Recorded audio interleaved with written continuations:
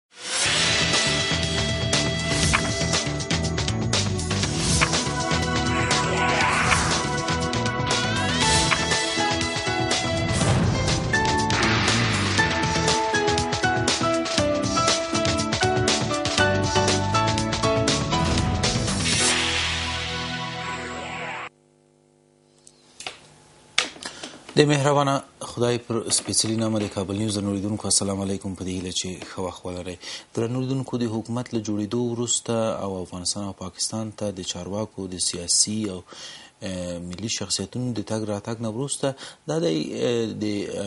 د پاکستان د سیاسي ګوندونو مشران افغانستان ته راځي او ښایي چې له ولسمشر او ځینو نورو افغان چارواکو سره وغږیږي د دغې خبرې د دغې ناستې اصلي موخه د دواړو هېوادونو ترمنځ د ښو اړیکو د لا پیاوړتیا او همداراز له تروریزم سره د مبارزې په برخه کې متمرکزه ده. دا په داسې حال کې دی چې له دې څخه وړاندې په وارو وارو د افغانستان او پاکستان ترمنځ غونډې شوې دي، حتی دا چې جرګګې سره جوړې شوې دي او هان دا چې د افغانستان پاکستان بریټانیا د افغانستان پاکستان امریکا، د افغانستان، پاکستان، ترکیې او همداراز د نورو هېوادونو درې اړخیزې ناستې هم شوې دي، خو رښتیا هم په اړیکو کې ښه والی نه دی راغلی او بیا هم هغه ترهګریز چې رښتیا هم پاکستان کې روزل کېږي او افغانستان ته رالېږل کېږي، د هغه مخه نه ده نیول شوې. دا په داسې حال کې دی چې د سولې خبرې بیا هم یو ځل د مطبوعاتو خبرې شوې دي او داسې راپورونه ورکول کېږي چې چین کې د طالب استازو یو پلاوی تللی دی او هلته د اعتماد سازۍ له پاره له چیني چارواکو سره خبرې اترې کوي بیا هم په داسې حال کې دی چې د پخواني ولسمشر ویاند ویلي دي چې چین ته د دغو طالبانو د استازو لیږل د پاکستان د استخباراتي کړیو لخوا ترسره شوي دي او مهمه خبردار چې سولې خبرې اترې رښتیا هم بین الافغاني خبرې باید اوسي چې نتیجه ورکړي که بیا هم د دریم ګړي هیواد په مرسته یا هم د هغوي د محور په ترسره کیدو؟ نن پر دغو ټولو مسایلو بحث لرم له ما سره میلمه ده د روانو حالاتو چلونکی ښاغلی عصمت قانع په دې هیله چې تاسو مې هم ملتیا وکړئ. قانع صاحب ستړي مه شئ. ستړي مه شئ. ستړي مه شئ. ژوند ژوند. لومړی د ناستو په اړه غواړم ستاسو نظر وپوښتم چې دا ډول ناست رښتیا هم څومره د افغانستان او پاکستان لپاره څخه ګټور دي خصوصا د افغانستان لپاره څخه څومره به پاکستان دې ته اړ شوی اوسي چې رښتیا هم په ناستو کې صادق اوسي بسم الله الرحمن الرحیم تر کومه ځای پورې چې د پاکستان د سیول جبهې یا په اصطلاح باندې د ملکي جبهې په ذهنیت پورې خبره اړه لري. پاکستان کې تقریبا سیاسي ګوندونه، مدني ټولنه، د هغه ځای مطبوعات او خپله د پاکستان خلک عملا محسوسوي چې تروریزم، سبوتاژ، ګډوډي او بالاخره بد خدمات وړاندې کول یا بډ ګورننس یا د ښه حکومتدارۍ پر خلاف ښه غلطه حکومتولي دا ټول منبع یې یو شی ده بې ثباتي ده او بې ثباتي لپاره صرف او صرف په دغه سیمه کې تروریستي تحرکات دغه دغه زیږوي مشکلات زیږوي، ستونزې زیږوي، کړاوې زیږوي او دغه د پاکستان د خلکو ذهنیت ته تر کومه ځایه پورې چې موږ د هغوی پریس ګورو، د هغوی مطبوعات ګورو، د هغوی د سیاسي ټولنو، د هغوی د مدني ټولنو د احزابو دا ذهنیتونه دي، ټول په دې باندې باوري دي چې په پاکستان کې اوسنی بد حالت، منبع او سرچینه یوازې تروریزم ده او پاکستان په یوه نااعلان شوې جګړه کې په دا سیمه کې اوسېږي او دغه جګړه د پاکستان د خلکو د ګټو د پاکستان د اقتصادي مفاداتو د پاکستان د اقتصادي پرمختګونو او د هغو فرصتونو پر خلاف ده چی پاکستان یې په وس کی لری د د د اقتصادی رفاه لپاره د د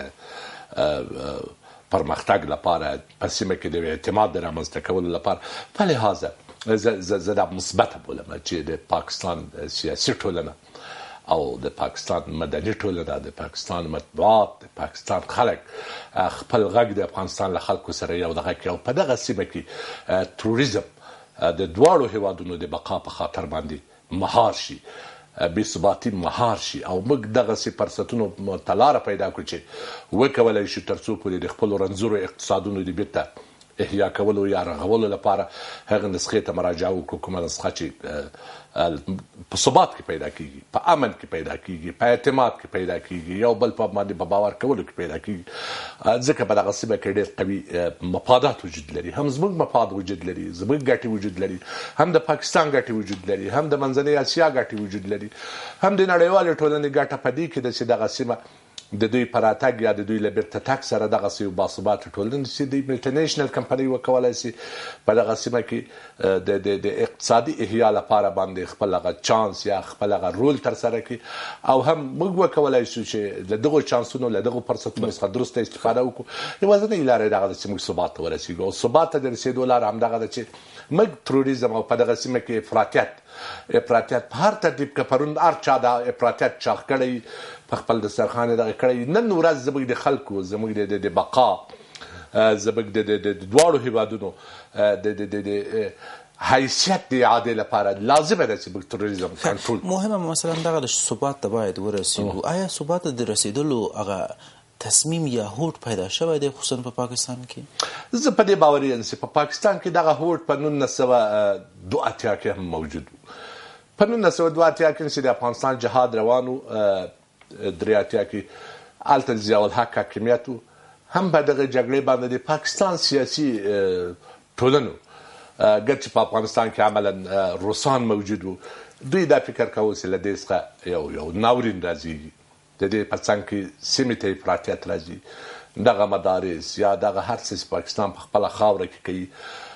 یا د افغانستان په جهاد کې لاس وهنه یا په افغانستان باندې تحمیلي قیادت ورتپل یا په افغانستان باندې یو داسې حل ورتپل چې عملا هغه حل د پاکستان د خلکو په ګټه نه وي د افغانستان د خلکو په ګټه ګټه نه وي له خارج څخه د یو ډیکټیشن په وسیله باندې دلته راغلي پاکستان د یوې داسې جګړې نمایندګي کوله خپل خاورې د یو داسې جګړې لپاره نړیوالو ته په کرایه ورکړې و خپل سیاسي قلمرو یې د یو داسې جګړې لپاره نړیوال ته په قلمرو په اجاره ورکړی اوسي په دغه قلمرو کې د پاکستان د خلکو پر ضد هم مشکلات رامنځته کړل ولی از په وخت کې موږ دا فکر کوو چې د پاکستان د د سیاسي ټولنه د پاکستان خلک د پاکستان ملت دومره شعور او درک درلودی چې له دغه افراطیت څخه راځېږېدونکي خطرونه هغه وخت هم دوی ثبات غوښته نن هم دوی ثبات غواړي خو آیا نظامی حکومت یا نظامی برخه دغه څه غواړي؟ بدبختي دا ده په پاکستان کې بدبختي دا ده په پاکستان کې چې په پاکستان کې تر اوسه پورې نورې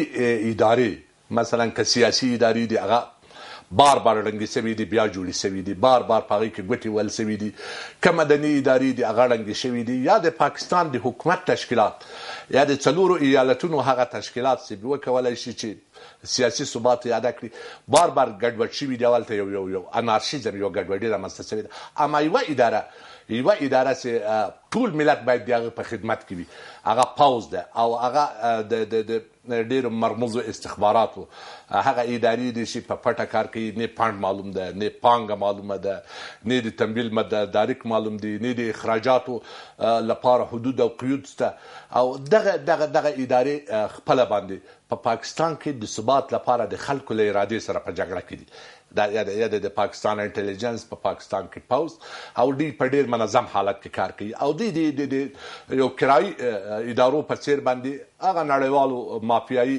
کړیو ته کار کوي کومې نړیوالې مافیایي کړۍ چې په دغه سیمه کې غواړي د خلکو د مفاداتو په قربان ولسه. نو بیا کولای شو چې تر ټولو بر لاس همدغه برخه لري په پاکستان کې یعنې حکومت یې همدغو دی او دوی هېڅکله نه دي غوښتلي چې خصوصاً په پاکستان کې او یا هم په افغانستان کې دې ثبات راولي شي. که تاسو د دغه خبره دا د جنرال صاحب حمید ګل یو مصاحبه چې تقریباً نن یې څلورمه ده پنځمه ده رسنیو واخیسته هغه مستقیما دا ویلي وو چې موږ په دغه سیمه کې یو داسې کارنامه ترسره کړې ده چې د هغې په وسیله هم د پاکستان اټمي پروګرام ته بهانه پیدا کړه د هغې په وسیله باندې موږ وکولای شو چې په ډیرو ځایونو کې هلته دغه وغځوو او دا فقط یوه استخباراتي جګړه وه د دغې استخباراتي جګړې تر شا ځینې دغسې قوتونه پراته وو چې هغوی په دا سیمه کې د مفاداتو ټکر درلودی د ګټو تصادم یې درلودی د خپلو ګټو لپاره خپله جګړه زموږ ګریوان ته راواستوله قاري صاحب بیا هم هم تاسو خبرو ته اشاره کوم غواړم تاکید وکړم چې پاکستان یو ځل بیا اجاره شوی د افغانستان د ناامنۍ لپاره څخه پاکستان اجاره سوی وو پاکستان اجاره سوی ده او پاکستان که وغواړي چي اجاره واوسيږي دي کار ته دوام ورکولای سي. یوه اړیکه لرو دا به واورو حاجي صاحب علي احمد ورور موږ سره په لیکه کې ده حاجي صاحب ستړي مه شئ مهرباني. سلام علیکم جبار صاحب تاسو ته او میلمه ته ستاسو لیدل وعلیکم السلام تاسو دې بیا ستړي مه شئ جناب جبار صاحب بله ښه حاجي صاحب تاسو غږ لږ زره ښه مونږ ته نه راځي که ځای مو تغییر کړئ او یا هم د ټلویزیون غږ مو جګ وي لږ زره ورو کړئ ان شاء الله غږ به مو ښه شي بله مهرباني جبران صاحب خبرې وګړي نه کو موږ د افغانستان خلک او بل خصوص د طالب ورونه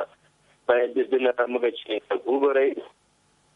هغه د پاکستان یا نورو ملکونو رشد ورکو خسیکلای د څه اندازې ته رتبلې ورسې دی او په پارسي کې وکړي دا چې په وګوره امریکا خپل بلډینګونه چپک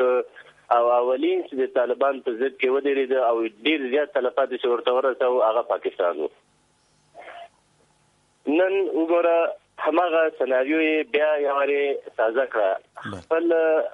مدرسو مکتبونو کې وګوره دا خپل کسان یې همداسې کړل، زما خو همدا نظر ده.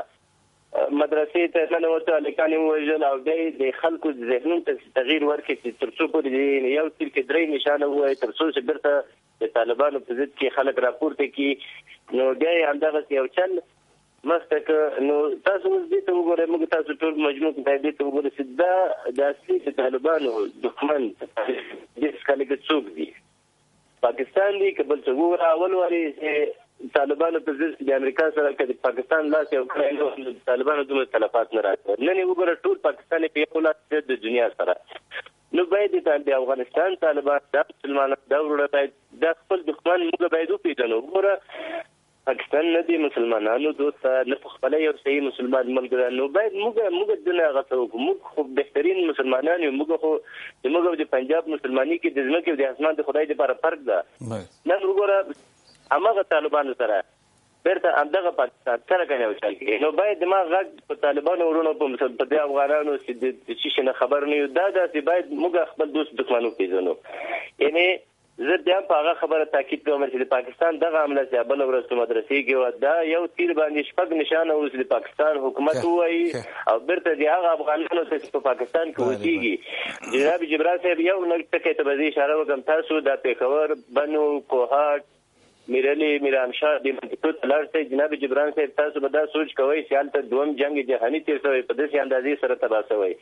هغه باقي مانده چې کوم خلک دي هغه چې پاتې دي هغه به هم دوی اوس د الله سره یو که هغه پښتانه به هم دوی سره وزني او ختموي به یې خو د ما په نظر دا چې پاکستان مسله د اسرائیل او د اسرائیل چې کله په اسرائیل فلسطین سره جوړ شو نو تاسو بیا داسې وبولئ چې پاکستان هم افغانستان سره جوړیږي او دا زما نظر و تاسو ته خبره ډیره زیاته مننه کوم ان شاء الله چې خانه صاحب هم تاسو په نظر باندې خپل نظر ولري په پیښور کې د دغه برید نه وروسته پاکستان څه غوښتل یا هم دغه برید لکه څنګه چې اجي صاحب ورته اشاره وکړه چې خای په خپل یو ډرامه اوس لکه څنګه چې په نیویارک کې هغه ډرامه تر سره شو جناب امیر صاحب بدګماني موجوده ده د پاکستان په ارتباط باندې ډیره سخته بدګماني موجوده ده خپل د پاکستان د خلکو لخوا زموږ لخوا او په سیمه کې خو زه فکر کوم چې دا فقط پاکستان ته یو داسې ټک ورکول سوی دی چې فقط هغه وایي د مارګیر مرګ د مار له نیک څخه وي پاکستان تروریزم د خپل سټیټ پالیسي یا د خپل دولتي پالیسي یو جز وګرځاوه او هغه ادارې چې هغوی د تروریزم څخه د هند او د افغانستان پر ضد باندې کار اخیستی یا له افراطیت څخه یې کار اخیستی خپله باندې ځینې داسې ماران پیدا سو چې دغه افراطیت د دوی لپاره هم په یو ګواښ بدل سو او هغه ملا فضل الله سري په سوات کې ايف ايم راډيو ورکړې وه په سوات کې د پښتنو د تعليمي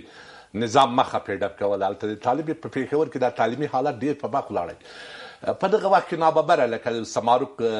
مولانا صوفي محمود راپورته سو صوفي محمد د فضل الله خسر ده دې فضل الله ته اېف اېم راډيو راغله حتی کمېشنرانو تګ و راتګ و ورسره د پاکستان د حکومت استخبارات همدغه څوک و چې راولاړ سي بېرته پاکستان ته ټک ورکوي زه فکر نه کوم چې د پاکستان د پوځ جنرالانو به د خپلو بچو لپاره طالبان راغوښتي او دلته بې داپه وژلي دلته نورې ډرامې هم دوی جوړولای سوای نورې بهانې هم جوړولای سوای خو دا تقریبا د پاکستان د خلکو ته یو یو خبرداری وو د هغو پالیسیو په په په په نسبت باندې چې د دوی پوځ د دوی پټو استخباراتي شبکو هغه پالسۍ د نورو هیوادونو پر مخ وړي او یو ټک یې دوی ته ورکوي دوه ټکه به نور ورکوي او که دا دا کنټرول نشي دا دا بې شعوره ده دا دا دا دا دا بلا بې شعوره ده دا بلا سترګې نه لري او زه فکر نه کوم چې خپل بادار وو یا خپل نوکر وپیژني دا په قطر یعنی هغه اور چې پرون په افغانستان کې بل و اوس هم بل د دې لمن رسیدلې پاکستان ته باید د یو بسر کې تللی د فقط د پیښور په آرمي پبلک سکول کې د هغو خلکو بچي وژلي دي چې دا تقریبا یو انساني فاجعه ده. څنګه کولای شو چې هغه اور چې پرون دوی ورته ولګوه افغانستان ته اوس خپله لمن یې نیولې ده نو څنګه کولای شو رښتیا هم د دې مخه د قربانیو مخه باید ونیول شي پاکستان هم اوس په قربانۍ کې د افغانستان هم تر ډېره حده تر قربانۍ پورې ده حل لاره یې څه ده دا به وپوښتو محمد نعیم ولاړ صاحب هم له موږ سره په لیکه کې ده ولاړ صاحب ستړی مه شئ مهرباني بله. محمد نعیم قیام صاحب دی یا ولاړ صاحب؟ ولاړ صاحب له ننګرهار څخه ده. مهرباني ولاړ صاحب تاسو خو لیکه کې یاستئ. ښه فکر کوم څه ستونزه به وي چې زمونږ غږ نه اوري ولاړ صاحب که زمونږ غږ اوري مهرباني وکړئ تاسو په لیکه کې یاستئ ښه یوه لنډه دمه لرو بیا راګرځو پوښتنه به وروسته انشاءالله دمې نه وکړئ درنو لیدونکو ستاسو ملتیا غواړو